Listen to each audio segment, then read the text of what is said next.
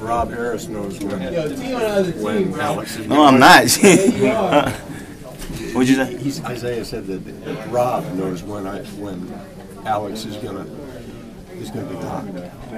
Um, yeah, I don't know anything about that. Had he been shooting them well in practice, Alex? Um, honestly, this is a surprise to everybody. He came out and you know he's hitting shots, knocking them down, and I feel like they were doubling him in the post, so he just wanted to get away to get some open looks, and he stepped out. They left him, and he knocked down shots. He's played really well against Alabama. I mean, does that happen sometimes when you just get a good matchup and you feel confidence about that team, playing that team? Yeah, you know, I feel like they're not as confident defensively uh, with him because you know he's been doing so well against them, and you know they made an adjustment and they trapped him, and he made an adjustment offensively and just stepped out and knocked down shots. So you know it's hard for them to guard him. You said the other day that you needed to shoot the ball better. You hit those two threes back to back. Would they really help your confidence hitting the hitting the outside shots again? Um, well, you know, my I'm always confident in my shot, but you know those two threes were big for me. I didn't hit a lot of shots that I normally hit early, and you know I was just trying to you know make things happen, and that long shot really you know helped me throughout the game. What did you think about Dom coming in the first half and give you guys a spark?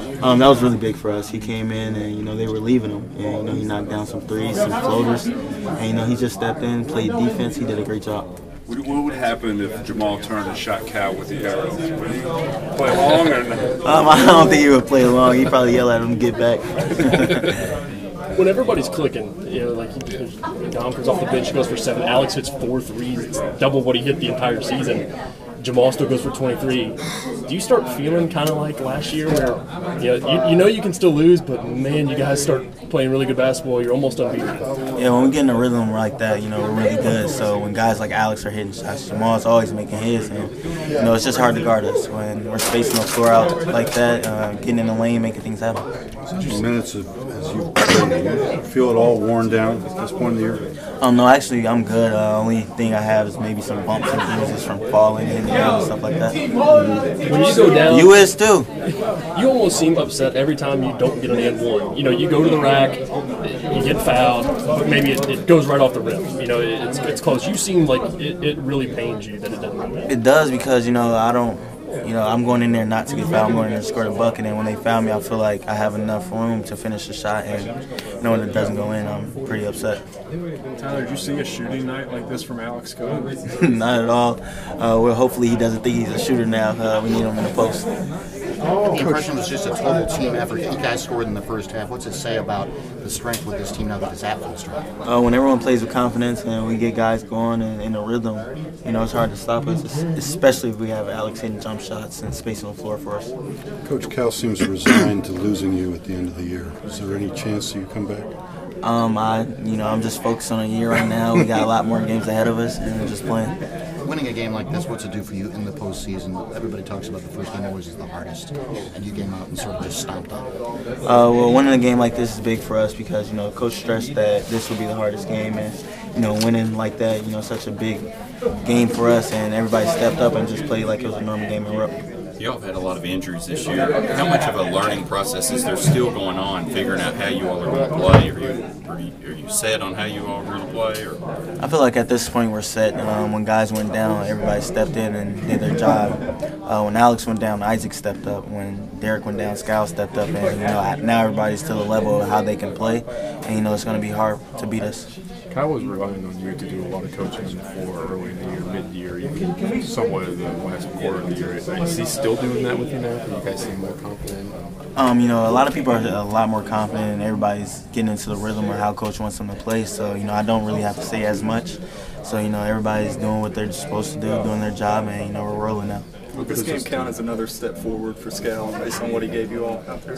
Um, definitely, you know, Skal's doing a great job defensively and offensively. He's blocking shots. Uh, he's shooting his hook shots that he can make. He's always made his jump shots, and you know, he's a problem now. Uh, pick and pop in the post, and you know, he's playing great. What's the difference between this team now and midseason?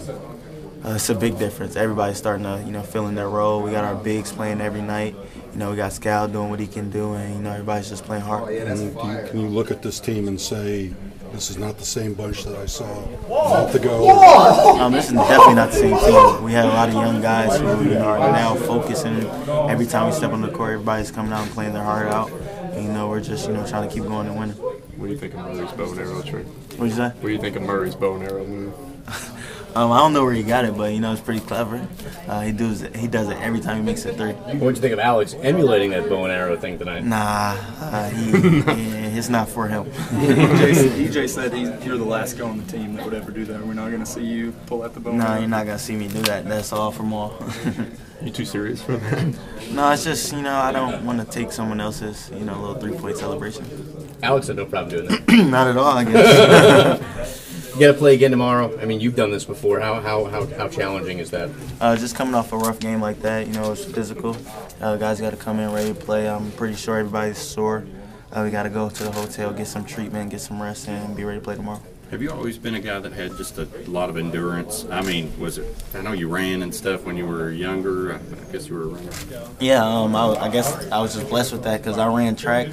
I ran the distance and never really went to practice because of basketball. So, you know, I just went to a couple meets and I was pretty good at it. Just kept going. What was your distance? I ran the 800 and Ooh. In uh, Coach Cal's comments yesterday about losing, losing you to the draft, in regards to that, has he ever talked to you about you know developing you for you know the pro game and that sort of thing? Has he you know said that you know even last year you know you, you can have that opportunity? Uh, yeah, he's talked to me about that. You know, even last year, like you said, because that's what you know Kentucky is for to get you ready for the next level and win games. And you know, I know I have to gain weight and stuff like that, but you know, we really don't talk about it much because you know we're trying to focus on the season. When did you realize you could compete at the highest level? I mean, how old were you when you realized like I can play with anybody? Like five. You were just born with it, were you? Um, yes, obviously, you know, I just always loved the game. Growing up watching, you know, my cousin Travis, Allen Iverson, you know, I just loved it. How tall are you?